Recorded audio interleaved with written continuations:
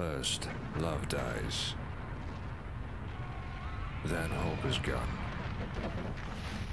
There is only one thing immortal faith. Faith will stay alive and roam the earth forever.